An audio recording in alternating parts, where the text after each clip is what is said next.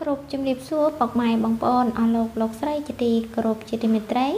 នៅពេលនេះនឹងខ្ញុំនឹងលើកយកអត្ថបទព័ត៌មានកំសាន្តរបស់វិធីការនីចាសុភ័ក្រកុសុមាមកជម្រាបជូនប្រិមិត្តពុកម៉ែបងប្អូនអស់លោកលោកស្រីទស្សនានិងសម្ដាប់កំសាន្តលើកនេះសុភ័ក្រកុសុមាបញ្ចេញសាច់ក្នុងអាងហែលទឹកមួយទំហឹងតារាចម្រៀងនិងពិធីការនីពូកែវោហាស័ព្ទកញ្ញា សុភ័ក្រកុសុមាពេលនេះនាងកាន់តែទទួលបានការគ្រប់គ្រងពីទស្សនិកជននិងមិត្តមិត្តយុវវ័យដោយប៉ុន្មានឆ្នាំចុងក្រោយតារាស្រីរូបនេះ កាន់តែធ្វើឲ្យមហាជនចាប់អារម្មណ៍នឹងទេពកោសល និងសមត្ថភាពនាងកាន់តែច្រើនខ្លាំងឡើងខ្លាំងឡើងផងដែរ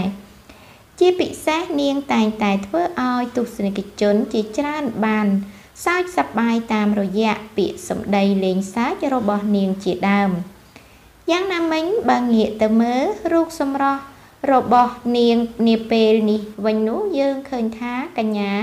សុភ័ក្រកុសុមាកាន់តែស្រស់ស្អាតផូរផង់ជាងមុន បន្ទាប់ពីសម្រេចចិត្តចាកាត់ត្របកភ្នែកពីរជាន់រួចមក អ្វីដែលកាន់តែចាប់អារម្មណ៍ខ្លាំងនោះគឺស្ទាយតុបតែងខ្លួនរបស់តារាស្រីរូបនេះ នាងពិតជាលេចធ្លោសឹងតែគ្រប់ពេលជាមួយនឹងឈុតដែលនាងបានស្លៀកម្ដងម្ដងយ៉ាងចាម្យ៉ាងវិញទៀតនាងតែងតែជ្រើសរើសនៅពណ៌ឆើតឆើតយកមកស្លៀកឃើញថាស័កសមជាមួយនឹងនាងតែម្ដងជាក់ស្ដែងក្រៅពីពូកែរៀបចំខ្លួនតារាស្រីរូបនេះ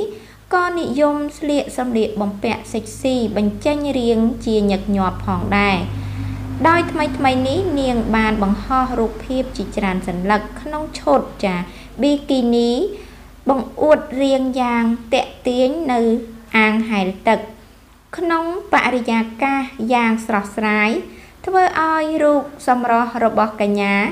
សុភ័ក្រកុសុមាកាន់តែស្អាតថែមមួយកម្រិតទៀតផងដែរ ក្នុងនោះដែរបន្ទាប់ពី fan fan បានឃើញរូបភាពថ្មីជាច្រើនសន្លឹក ទាំងនេះហើយបាននិយាយសរសើរពីនាងគ្រប់គ្នាតែម្ដង ចាឃើញថាអត្ថបទកំសាន្តរបស់តារាចម្រៀងចានឹងវិធីការនីសុភ័ក្រកុសុមាក៏បានបញ្ចប់ទៅហើយនាងខ្ញុំក៏សូមអរគុណរាល់ការតាមដានរបស់ពុកម៉ែបងប្អូនផងដែរចាសូមអរគុណសូមជម្រាបលា